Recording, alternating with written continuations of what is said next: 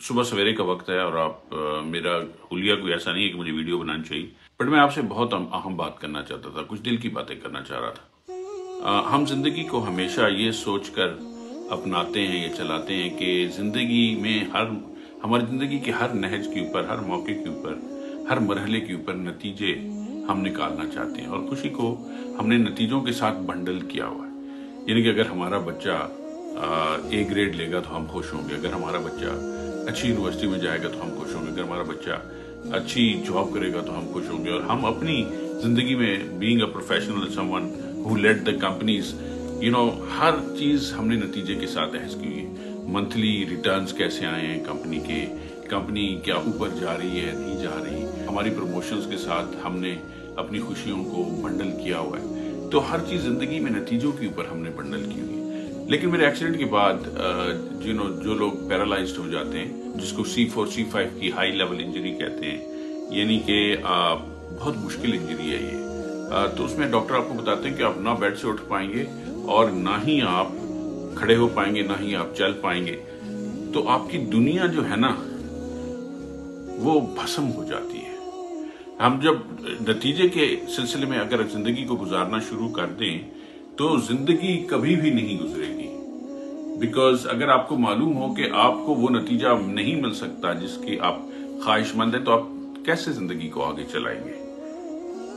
तो मैंने जो एक चीज़ बहुत अहम सीखी जो मैं आपके साथ शेयर करना चाहता हूँ, कि ज़िंदगी को जियो, ज़िंदगी को नतीजों के साथ उसका इल्हाक ना करो, उसकी क्रॉस्पॉन्डेंस नतीजे के साथ ना करो। बल्कि अब जैसे मैं नहीं खड़ा हो पा रहा तो मैंने ये बेल्टे लगा के अपनी टीम के साथ खड़ा होने की कोशिश कर रहा हूँ और मैं इन लम्हों को जी रहा हूँ।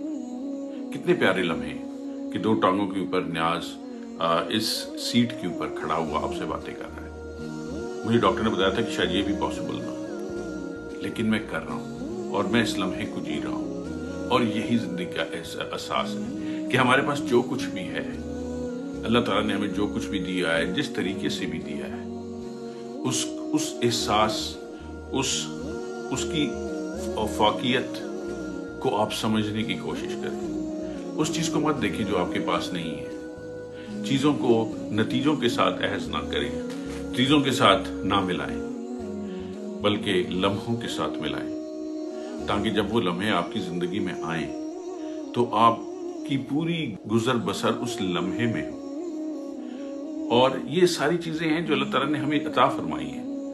ये जो बातें मैं आपसे कर रहा हूँ, कोई नई बातें नहीं है, लेकिन इनको करना बहुत मुश्किल होता है।